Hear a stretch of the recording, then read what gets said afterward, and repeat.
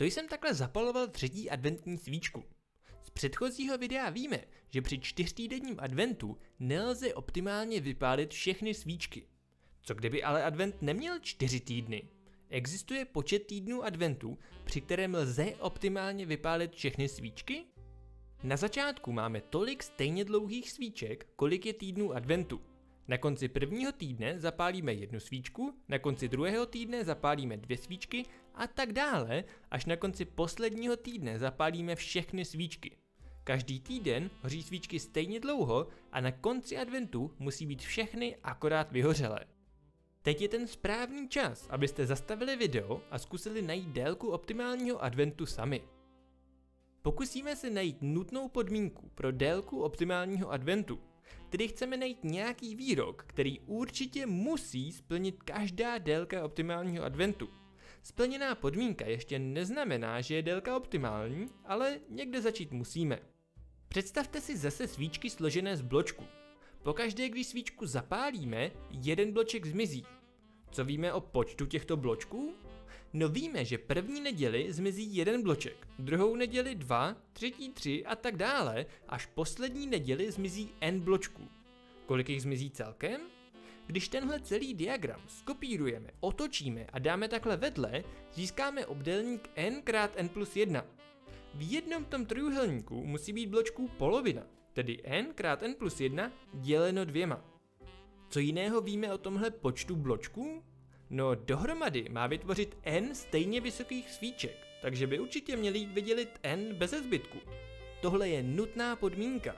Každá délka optimálního adventu musí splňovat, že n krát n plus 1 lomeno dvěma je dělitelné n. Zkusme ji trochu upravit. Když je polovina dělitelná n, tak je určitě celek dělitelný 2n, takže dvojku si můžeme převést na druhou stranu. Teď máme na obou stranách n v součinu. Představte si to ve zlomku. Tam bychom kladné n zkrátili a podobně si ho můžeme dát pryč i v téhle podmínce. Zůstalo nám tady n plus 1 je dělitelné dvojkou. Jaká čísla jsou dělitelná dvojkou? Pouze sudá čísla. Tahle podmínka nám tedy říká, že n, které hledáme, předchází sudé číslo. A jaká čísla předchází sudým číslům? Lichá čísla. Délka optimálního adventu tedy určitě musí být lichá. Ale je každý lichý advent optimální? Zkusme k naší nutné podmínce najít i postačující podmínku. Tedy chceme najít takový výrok, který když délka adventu splní, tak je určitě optimální. Postačující podmínku ale zase nemusí splnit každá délka optimálního adventu. Řekněme, že jsme na konci adventu a máme akorát všech n svíček stejně dlouhých. Jak by se nám něco takového mohlo podařit? Pokud bychom první neděli zapálili jednu svíčku a předposlední neděli zapálili n-1 zbývajících svíček, tak tím by akorát z každé svíčky zmizel jeden bloček.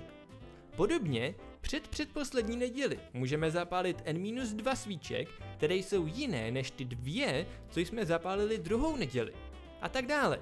Když se nám podaří takhle hezky spárovat všechny neděle, tak určitě máme optimální advent. To se nám podaří, když je n-1 dělitelné dvojkou. V takovém případě můžeme čísla od 1 do n-1 rozdělit na dvě poloviny, mezi kterými se nám neděle takhle hezky spárují. A jestli n-1 musí být dělitelné dvojkou, tedy sudé, tak n musí být liché. Postačující podmínka pro délku optimálního adventu je tedy liché číslo. Ale to je přeci stejné jako nutná podmínka. Je to tedy zároveň nutná i postačující podmínka. Ta nejlepší podmínka, co si můžete přát. Víme tedy, že optimální adventy mají vždy lichou délku. Lichý advent je optimální a optimální advent je lichý. Pokud by tedy advent měl 3 týdny nebo 5 týdnů, mohli bychom optimálně vypálit všechny adventní svíčky. Ale když má 4 týdny, tak to nejde. Leda, že by...